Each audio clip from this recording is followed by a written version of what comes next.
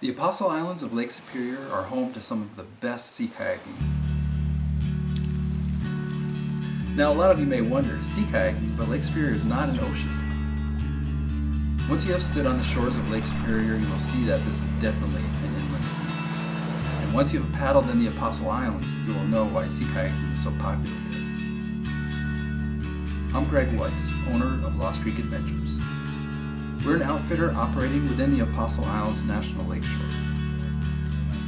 Lost Creek is the closest outfitter to the most popular kayaking location within the Apostles, a place called the Mawikwe Bay Sea Caves.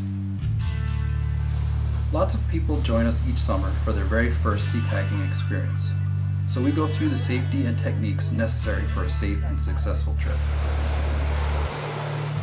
Then we get out on the water.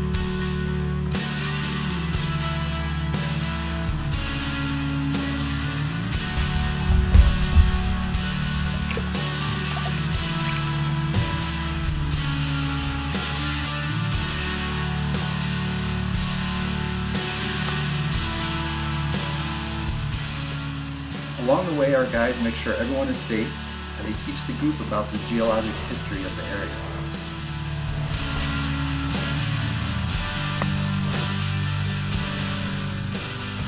On a good day, we get into a lot of the smaller caves, something you can't do by motorboat.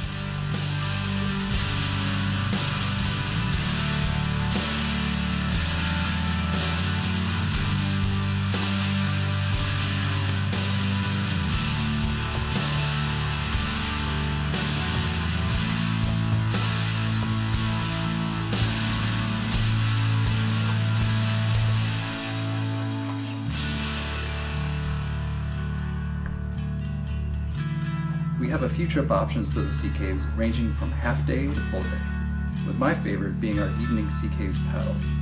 The lighting is sublime and the water is usually at its calmest. Join us and experience an adventure inspired by nature.